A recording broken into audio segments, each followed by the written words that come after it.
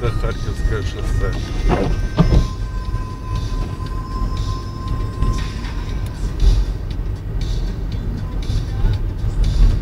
Сегодня здесь, наверное, не чистили еще.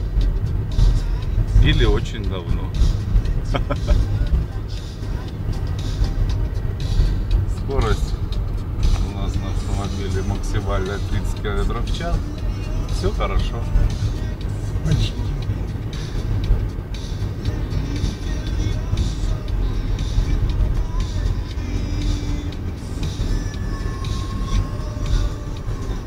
Вот и ученик в эту погоду решил поучиться ездить.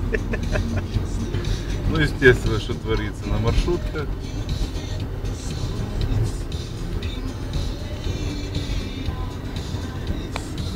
На остановках люди, не знаю, ехали. Идите домой, наверное. Столица не готова была. Сегодня 22 марта. 23 марта 2013 года, да. Такого давно не было.